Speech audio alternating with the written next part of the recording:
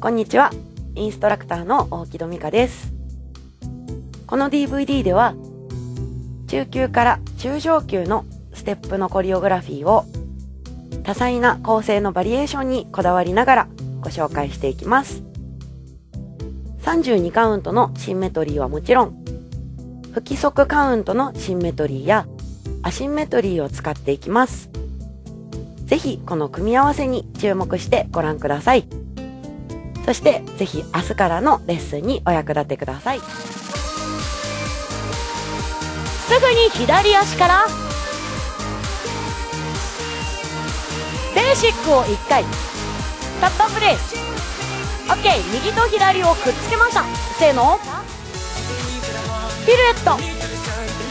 右肩を引いてシー。ザー78 OK タップアップです。ツイスト。パドブレです。払って。後ろ向きでキック。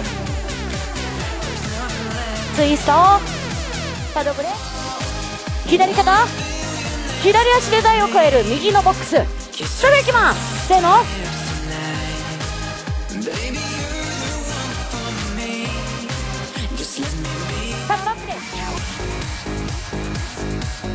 バーストンシザース。そしてつなげただけ。